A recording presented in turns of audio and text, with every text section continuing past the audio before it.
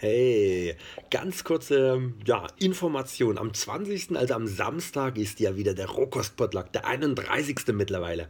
Auch wenn das der wärmste Potluck des Jahres wird, würde ich mich freuen für diejenigen, die kommen, wenn sie ein Stück Holz mitbringen, ein Stück trockenes Holz, um dass wir da auch wieder ein Feuerchen machen können. Das geht auch mit feuchtem Holz, aber das dampft ganz schön viel und als Grundlage wäre halt schön, wenn jeder so ein Stück Holz mitbringen könnte. Ist aber keine Bedingung. Ansonsten aus Mannheim, also in der Nähe Mannheim, sind noch drei Plätze frei für eine Fahrgelegenheit, für eine Mitfahrgelegenheit. Das heißt, wer aus der Nähe kommt, einfach in die Veranstaltung reingehen und der Dame antworten, die das angeboten hat. Ich verlinke euch unten die Facebook-Veranstaltung.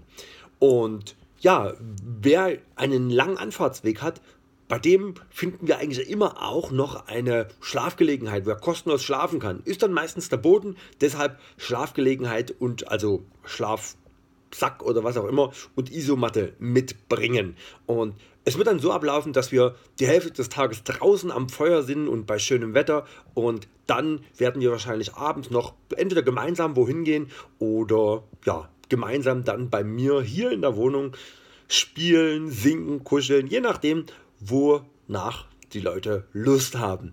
Also, wer sich noch nicht entschieden hat, am 20.01., das ist der Samstag, der wärmste Tag der Woche, mit 6 bis 8 Grad und Sonnenschein, der kann sich ja Samstag dann freuen.